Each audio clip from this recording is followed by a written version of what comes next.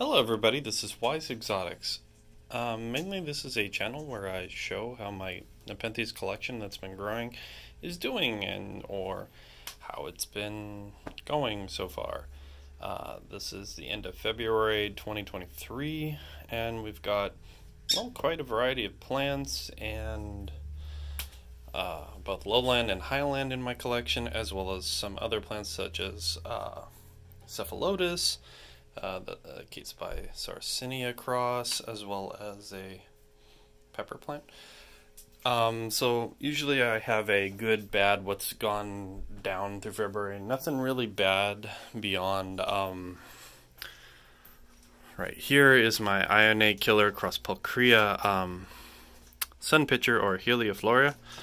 It is not doing well. I'm not sure, but I've had problems with this plant since I got it. It was severely damaged. It originally had three pitchers. In shipping, they were filled with rocks and it tore them apart. And then about a month later, I got a pitcher, or a couple months later, I finally got another pitcher, and then that died recently. And then I got this new, it looked like a normal leaf, and now it's dying. So I've moved it out of the lowland, I moved it up with my highlands, so hoping it will try to pop back. The roots are still good. Um, the reason I think that is uh, something like a catesbaei like this. Uh, during the winter, they die back and they're almost nothing. But as you can see, this one's already coming back really strong. Uh, this is one I got from California Carnivores a few years ago. Um, I also do have a Sarracenia Cross Purple Haze in my front yard. It's been doing really fine too, along with a sun pitcher. Now, here in California, sun pitchers are actually pretty natural, I believe. They are a native plant the one I have is called Orange Sherbert. It really liked the cold. It got like four to five times bigger. But again, that's in the front yard. I use it to remove pests such as um, aphids, ants, uh, gnats, things like that. And it does a very good job of it. So let's get into the lowland since we're here. Uh, I haven't had any problem in the lowland chamber now that I've figured out that this area is my kill zone, I call it. We did lose this, which I said at the beginning of the month, it got barbecued. I'm still not sure how or what caused it, other than maybe the, the light above is too intense. So as we'll go in here, this is one of my uh, my really big good growers. This is a Globosa class Ampullaria Black Miracle F2.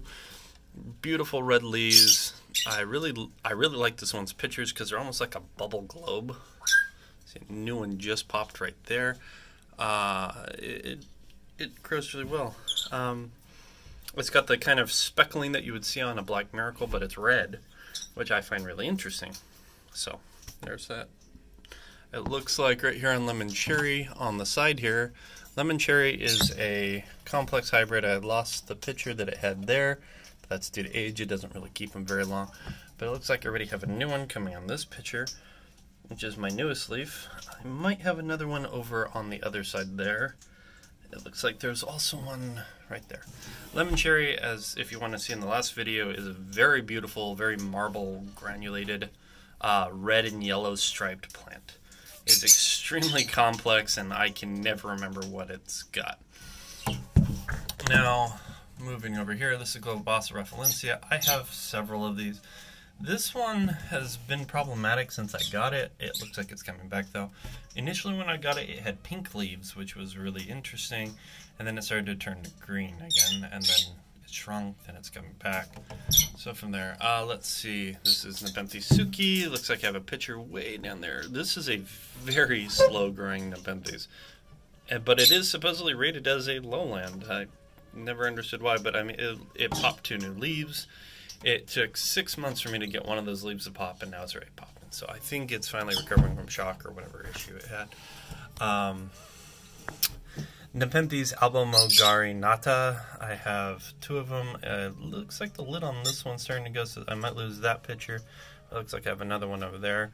Its sibling, which is what I call it, it's right below, is a tissue cultured one. So these are the same type of exact species. I don't know if it's the same plant say. These are my two really diverse sibling plants. One has red pitchers, one has this white speckling and striping. This was from Josh's Carter's plants, as you can see. This, this is the exact cross type it is. Nepenthes Viking Sumatra X Viking Hookeriana X Black Miracle. Uh, very pretty. It's also this one also has a red speckling, similar to this one, but it, this isn't a back cross, so it's very interesting. My pure Rafflesia finally is giving me another picture. I think it's starting to be happy. These ones have huge pictures of her. These are the other Globosa Rafflesias, just like that little one there. These are all seed siblings, so if you ever are doing seeds, please note they all are very different. Now, this is my only other one that's kind of weird. It's a Cousin Genesis cross cross Globosa, cross uh, Black Miracle. It, it's Globosa cross. It's three different Globosa crosses back and forth. Uh, this is a Rafflesia Globosa cross Black Miracle. It hasn't given me a picture in a while, but it looks like it's trying to. It's another slower grower, but not like these, which these ones are really happy. Number one, number two are doing well. I used to have five of these because I got a pack of seeds and I was growing them and they didn't do it as well. Now here's my other Globosa Ampullare F2. It does have red speckling, but this one is a little more sun sensitive. So I've moved it all the way over here, and it seems to be popping back with a new leaf tip. So there's that. Oh, this is a Nepenthes Pinky, if anybody cares. It's a very simple, easy to grow. Nepenthes was something I was giving as a gift, but that person is not as good with plants. Oh, uh, sorry, try not to sneeze. If you can see in here, bearded dragon. He's in the jungle. He doesn't care. Uh, most of these are spectabilis crosses up here. One of my favorite is this one, which is a Veitchii cross spectabilis. Very large. Uh, it's larger than my finger. Uh, it's one of the largest pictures I own. Now, this is a Nepenthes Vivid Machine, which you can get from Predatory Plants. I got two of them. One I initially purchased purposefully. The other one was for free because I purchase the other one. So I don't know. I got two out of it. So there's this one and this one. You can see quite a bit of difference between the two siblings. This one grows a lot faster, bigger, taller pitchers, uh, which is a Maxima S Veitchii ex Platychila ex Maxima tenentra. I'm reading the name there if anybody cares. That's Vivid Machine on both. Let's see, this is another complex one right here. Doing well, nice little pictures. Nothing super complicated. Uh, Mira X Ovata? No, Spectabilis X Ovata, I believe. No, Spectabilis X Mira. It, it had a new node, but then didn't want to go. Let's see. These Veitchii X aren't as happy here. My Rajah X Ima is just doing fabulous popped a new leaf as you can see. It's very happy. Still doesn't want to give me a picture. Everything else is giving me pictures. If you can see up here, there's a picture from my Spectabilis ex Veitchii. Right there. What's another one? Veitchii are a very interesting species. Uh, they're very diverse. Spectabilis are also kind of weird.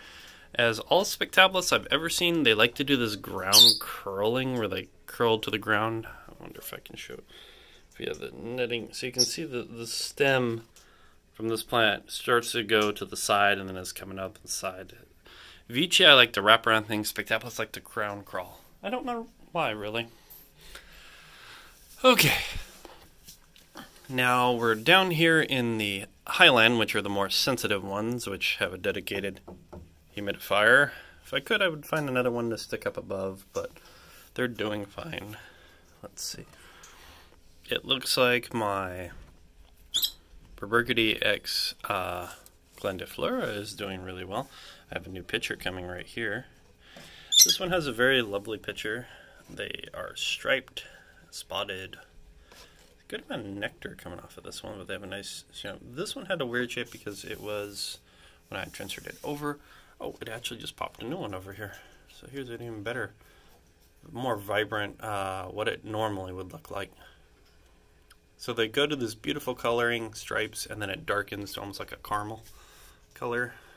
And here is a Clypeata ex Lowii, which is about to, it's just opened a new leaf. Uh, Hamata ex Aristolochioides, that's such a weird name, so I call them Aristos. Uh, the basal on this one is doing phenomenal. I think it's actually, if you compare it to the actual plant it's growing out of, it's actually bigger it's doing really good. I will get into this tank later because they are a little more sensitive. I try to be a little more careful.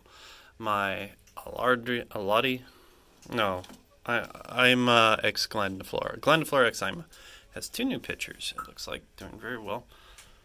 Excuse me for a sec. I'm going to rotate the light so I can adjust. Okay, now I can see. Uh, this red plant right here is a beautiful uh, Diabolica cross minima seed grown from AW. They did release that. A few of those.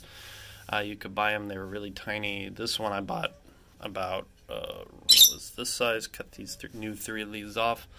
All my plants after I get them, they get these huge leaves, and then I get decent pictures off of them. So there's a balance between light and whatnot. Pictures are the pictures these things develop. All these traps, like this one, which is an Ovata X Robcantleyi, or Robcantleyi X Ovata. I keep getting things backward. I'm sorry. Um, the reason they develop pitchers is to make up for what lack of nutrients are in the soil. Majority of food and energy all these plants gain. Yeah, all these plants gain, huh, Polo? Polo is a bird behind me. I have two African greys in here, as well as three lovebirds and one parakeet. So if you hear birds chirping in the background, jungly forest type, that that's why. Anyway, the re the reason they developed this is just to kind of placate their bodies for a little extra nutrients that are not found in the soil. As they don't normally have to hunt it so much. In here, uh, they do actually get plenty of flies and whatnot because of the bird seed have little moths and little flies that attach their eggs to the seeds. They do fly around here. Since I brought these plants inside, I have had zero visible, I want to say. So they do a good job of hunting really well. Um, let's see, you can see a Clypeata that is a pure grown Clypeata, a pure seed Clypeata, I'm sorry. Next to it is my Hamata AW1, which looks like it's coming back. The leaf that was curling popped back up. I was, I've been really worried about this one. Uh, my other Hamatas are not giving me as much as a headache. I have, originally I had a female AW2 that got root rot and died. This one got root rot. Uh, Hamata's like a little more shade than normal since I've turned off the big spotlight so it's not on as much, which is right above my head here. Um, it's been doing really well. Uh, let's see. You can see over here, for some reason, my Peltata wants to go inside of this. So I'm going to try to separate the two. Uh, Peltata Rajah, I don't think it has had any new ones. I can actually see way down there is a new little uh, pitcher spike from my Northiana. Let's see if I can get it. I think it's really hard to get in here. So this is a Northiana. This is a very pretty species I find myself. Uh, it does have plenty of pictures. I was told when I initially started looking at Nepenthes to stay away from these because they are very sensitive. This is the BE33571 Northiana. I got it half that size and it's been doing very well for me. I don't know what I'm doing right. I don't know what I'm doing wrong. so far that one's doing really well and I'm happy with it. Same thing with the Diabolica crosses are doing really well. Uh, over here is a Diabolica Aristo cross and this is a Singul Singalana cross Diabolica. I'd like to say that. Yeah, Singalana cross Diabolica. This one had root rot. It's coming back now, I'm very happy to say. As you can see the new leaf jump. This thing had initially had huge leaves and giant pitchers. I mean, they were the size of my hand with teeth. It was beautiful. It was called Metallica, I believe. This, uh, when I bought it, that's what they called it. Anywho, it's coming back. It's doing really well. Uh, in here are some Veitchii. Uh, nice big leaf jump on this one. And that's my Batabuli. Usually uh, they have decent leaf jumps like that one, which is my pink Candy Cane X Big Mama, which is a well-known one of Carnivero. I do love their plants. Uh, this one is a Veitchii from uh, Maliau Basin, which is a protected area, but you can get them. Um, no huge leaf jumps, just simple leaves so far. Right here is my enormous one, which is the Mike Falling K1 Cross M2. So you can see it's about the same age as the others, but its leaves are huge. It's pictures are huge. This is going to be a very big plant. I was not expecting that. Next to it is my cephalotus, my only surviving one so far. My other one isn't doing as well, so I'm not going to probably. This is the newest one I got. It's purple. I just like cephalotus. To compare to, they are a convergent evolution. Uh, as I said, Robicalia excavata. Nice new uh, leaf jump there. Same thing with the truncatas. Overall, all the plants are doing really well. You can see a nice new picture just popped over there. I do have, uh, like right here, is a Rajah Ex Mira seed ground, doing really well. Nice big leaves. I really look forward to seeing their pictures. Some of these don't give a picture for a long time. It's just Peltata. Peltata, for some reason, does not want to give me picture beds. It's got leaf jump, but it looked like I have a new picture node there. They're just very slow. Now, if everybody hold on for a sec. Hi, welcome back. Sorry for that quick little intermission. The tank I'm now looking at is my Ultra Highland, and by which I mean my more sensitive plants that I'm very cautious with, so I don't want to leave this open too long. I do routinely open this once in the morning, once at night. For those of you curious about growing Ultra Highlands, what am I doing? Uh, my temps drop to about 55 at night, and uh, I have a glass room. They can get up to 100 plus in the summer, but usually for normal spectrum, it's within 70s, 76 is the highest it ever gets on this side. But due to summer heat, I do have an air conditioner that I can wheel in here and keep all the plants and whatnot safe. And, you know, sound, I can even bring them inside. The highest I've seen these be able to maintain against is about 86.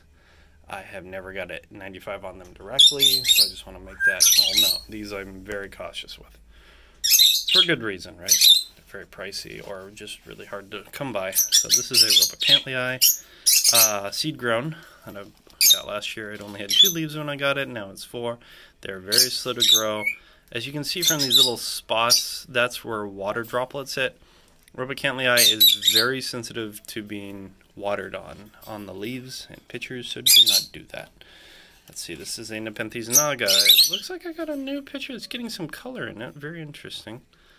Uh, it looks happy. Uh, it has a huge leaf jump.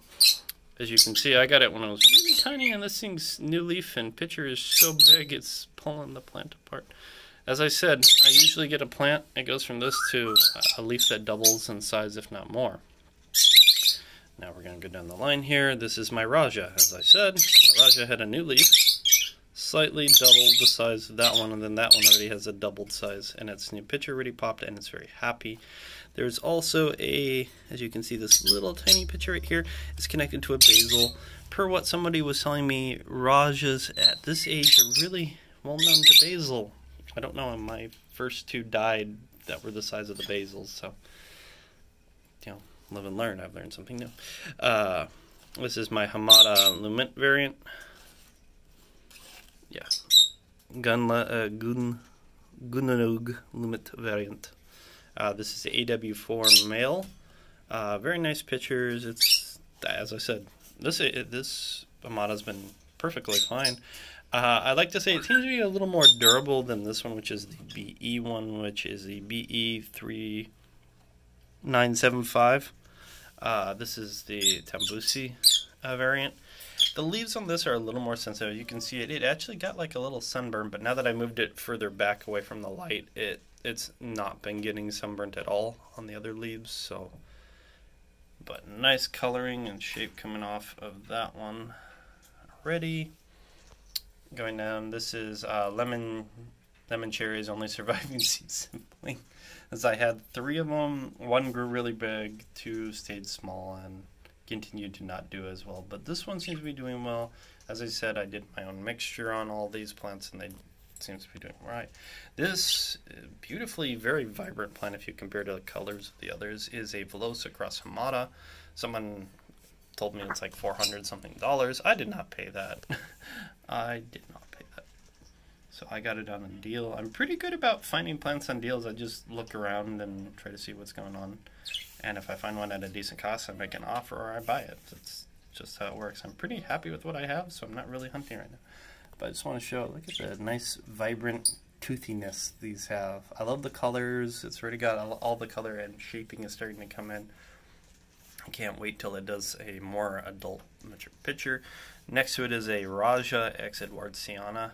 This is a rare plant to find because Edwardsiana, uh, to my understanding, are a pain in the butt to grow. They like to be an intermediate when they're an ultra highland, so they have a very sensitive range and need high humidity to a degree, whatnot. This one's been fine in the way I've been growing it. It's, yeah, it gets a new leaf jump every time almost. Nice big pictures. They're tall like an Edwardsiana with like a Rajah opening. I mean, this is a really complex plant. It's just one that I have two of, and I stick this little one in here. If you've seen my other videos, you know which one this is. If you're new, uh, it is that one. So pause your screen and look at it there, but that's the exact same species. Now we'll get into the middle here. So this is one of my pride and joy. These are kind of like the three I'm really trying not to let die or have any problems with, if anybody has understanding of that. So this is a Diabolica. Diabolica are like Northiana to an extreme. They're very sensitive, very hard to handle and take care of. The BE one is extremely well known to be so sensitive. You do anything wrong, sneeze, don't do anything wrong, it'll die. It's that hard of a plant to grow. The AW, which is this one, is a confirmed female. Uh, number four, Diabolica, female. It is a stable grower. I've had no problems. If you notice the speckling on the lower leaves, to my understanding, when I spoke to a few growers, that is actually common. It's not a disease. It's not anything. It's kind of like if you look at Black Miracle, they get black speckling. For whatever reason, that's a beneficial trait this plant has grown to have, just an FYI. So if you ever do get one and are worried, I already have a new picture opening there. I'm not too sure what happened to that one. Uh, but this one has been doing open and it's doing well. Nice toothy. It's got all the diabolical look, I'm happy to say. Also looks like I have another picture right here opening soon. That one, I don't know what happened to it. I got another one right here. It is a very slow to grow plant. I want to make that very apparent. If you even think about wanting to look at the ultra highlands, they're all very slow to grow. This Robcantleyi, for instance to give a better thing, this is my macrophylla. I've been growing this for a year plus. It's been, it was grown initially in 2018. So this is how big it is from all those years. And I've had leaf jumps since I got it because I got it about the size of that thing. So, and I, I did some cleanup recently on it. It's doing very well so far, no problems. I, I have constant pictures on it, constant leaves. It seems to be unlike other plants. It it doesn't like to keep its leaves as much. Uh, like certain things like this Rajah it rarely ever sheds a leaf or a pitcher. This one tends to do it fairly moderately. So uh, the second it pops out a new pitcher and leaf, it then tries it starts removing one of its older pitchers and leaves. So it's a common thing. It's kind of like Diatas here. Diatas, if you actually want a plant that's toothy, kind of like a Hamata with teeth, bright red with yellow and all that, Diatas are your way to go. I don't know why this one has such a tiny little lid, but uh, I have two different Diatis, uh, and they do really well. Next to it here is my newest um, inclusion into my thing, and I'm very, very scary. It already just it literally just popped a new leaf uh, yesterday. It already has a picture on it growing really well. This is a Nepenthes villosa, seed grown. Uh, this is from a local seller in the States, so he had a bunch of them. I made a bid, 120 Yeah, not kidding. $129 exactly for that. I see these go for like hundreds, so I'm happy when I get them at a discount or a low cost just because I'm paying attention. Uh, looking, eBay is a good source, but so is, you know, looking on forums and whatnot and see what people have. I know here in California we actually have a Bay Area carnivorous plant show that occurs, and that's where I bought a bunch of mine that were from local sellers. So I got my Batabuli, all that stuff. Uh, he, he was like 30 minutes away. Apparently, it was like, oh, cool, I can just buy from you. Uh, I just find them at a decent cost. Uh, if they're asking, you know, thousands and thousands of dollars for some of these plants, I understand the rarity and whatnot, but personally for me, I can't afford that, so I just look for the bargain bin ones. Sorry to say. If uh, they grow really well, I I really want to see them develop and see how they shift and change from when I initially get it. Every day with these plants is a different experience, as you can see, like uh, the coloring, the shape, the size. Each leaf node grows for a specific reason. I'm also I do some experiments every now and then on my plants, uh, like seeing you know how they can grow outside. My Queen Malini actually did grow outside, and she is my largest plant. I grew in, inside of a tree, which was an avocado tree. If anybody cares, uh, she is up above. Give me a sec. So, very vigorous plant. That's because somebody handled it when I wasn't here and broke it, and also damaged my other pictures, so I lost my. But she's already got a new one coming. But I love her leaves. They're very waxy, uh, strong, very durable plant. Uh, great desk uh, top plant. I keep thinking of putting her on my desk when I'm at work or something, but as you can see, if you can see inside, there is liquid sloshing around there. It's right about there. I've actually seen her catch hornets before, uh, a bunch of them, which don't like hornets, so that's fine with me. Uh, it grew outside perfectly fine. It didn't. It, this plant tends to pitcher not super frequently, but when it has pitchered, they're a little more solid. So, if you find you have an Nepenthes, you want to see kind of like, oh, what type of plant, just kind of feel the pitcher bag. If it's a more firmer bag, those usually last a lot longer from just playing with them. If they're softer, they tend to get rid of those and shed those easier and go to a new one. Like my Rajahs last for months, for like a couple of these little ones, like the Ima and whatnot, they don't last as long. Same with Diotis, it sheds it periodically, as you can see. I actually have a new one on the other side. So, there are a very interesting species of plant. They are a vine, so as you can see from this as a good example, they basil, they start very small, kind of like a little bushy plant, and then they shoot out like a vine, grabbing, grappling, and wrapping around things. So please make sure you're aware of that. They don't save this cute little bushy thing forever, which is part of my problem is trying to find places to put them. As I started with a bunch of really small ones, and they slowly started growing really rapidly. I just think because I live in a valley, the conditions I have are similar to what they would naturally feel temperature wise. It makes them feel better. It's like uh, this one I got as a unknown plant. I love the coloring in this new picture. This is literally its newest picture. It is an unknown species. I discern it to be a spectabilis because of the way it angles and wraps down, but also has truncata truncated leaves and cells, so I believe it to be a Spectabilis truncata. It might not actually be that unless I genetically test it. So, there's that. Actually, there's uh, my other Diotis right there. Nice big leaf jump on that. Wow. Uh, yeah.